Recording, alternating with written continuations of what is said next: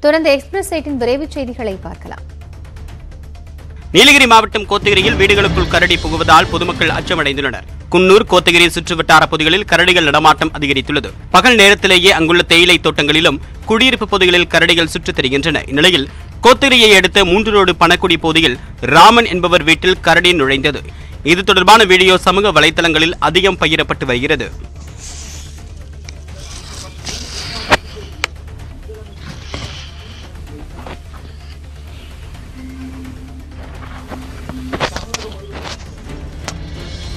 வாணியம்பாடி அருகே விவசாய நிலங்களுக்குள் நுழைந்த ஒற்றை யானையை கிராம மக்கள் வெளியேற்றினர். திருப்பத்தூர் மாவட்டம் வாணியம்பாடி அருகே காவலூர் வனப்பகுதியை ஒட்டிய விவசாய நிலங்களில் யானை ஒன்று தண்ணீர் தேடி புகுந்தது. ஒருங்கிணைந்த வேலூர் மாவட்டத்தில் கடந்த சில வாரங்களாக நூறு டிகிரி வெயில் வாட்டி வதைத்து வந்த நிலையில் வனப்பகுதி முழுவதும் தண்ணீர் இல்லாமல் வனவிலங்குகள் விவசாய நிலத்திற்குள் வரத் தொடங்கியுள்ளன. அதேபோல் ஒற்றை யானை ஒன்று காவலூர் கிருஷ்ணாபுரம் சத்திரம் உள்ளிட்ட பகுதிகளில் புகுந்து கால்வாயில் தேங்கியிருந்த தண்ணீரை அருந்தியது. அதைத் தொடர்ந்து யானையை கிராமத்திற்குள் நுழைய விடாமல் தடுக்க பட்டாசு வெடித்து மக்கள் விரட்டினர். வனப்பகுதியில் தண்ணீர் தொட்டி அமைத்து வன விலங்குகளை வனத்துறையினர் பாதுகாக்க வேண்டும் என கிராம மக்களும் வன ஆர்வலர்களும் கோரிக்கை வைத்துள்ளனர்.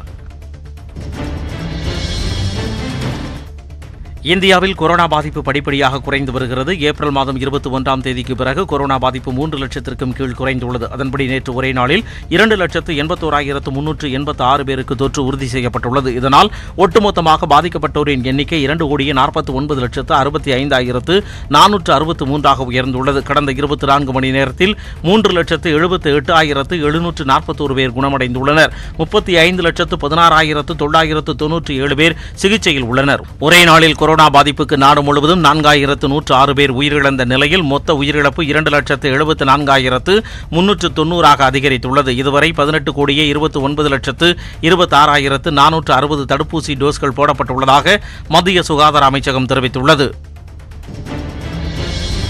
திண்டுக்கல் மாவட்டம் கொடைக்கானலில் மருத்துவமனையில் இருந்து கொரோனா நோயாளி தப்பித்து வந்தது போல் காவல்துறையினர் வித்தியாசமான முறையில் நடித்து காட்டி விழிப்புணர்வை ஏற்படுத்தினர். மாவட்டத்தில் கொரோனா பாதிப்பு அதிகரித்து வருவதை அடுத்து காவல்துறை சார்பில் பல்வேறு விழிப்புணர்வு நிகழ்ச்சிகள் நடத்தப்பட்டு வருகின்றன. அதன் ஒரு பகுதியாக கொடைக்கானலில் மக்கள் அதிகம் கூடும் பகுதியான நாயுடுபுரம் பகுதியில் விழிப்புணர்வு நாடக நிகழ்ச்சி நடைபெற்றது. அப்போது காவலர் ஒருவர் கொரோனா நோயாளி போல வேடமிட்டு மருத்துவமனையில் இருந்து தப்பி வந்தது போல் பொதுமக்கள் கூட்டத்திற்கு சென்று காப்பாற்றுங்கள் என கூச்சலிட்டு நடித்தார்.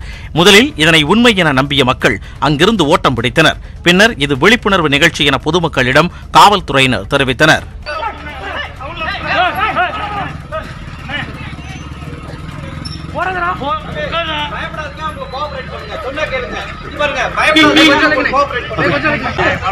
கொஞ்சம் கொஞ்சம் அடி போனேன் நீங்க வேணும் பண்ணிடுங்க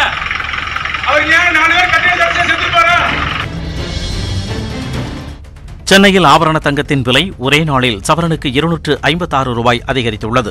இன்று காலை நிலவரப்படி ஒரு சவரன் ஆபரண தங்கத்தின் விலை முப்பத்தாறாயிரத்து நானூற்று பதினாறு ரூபாயாக உள்ளது.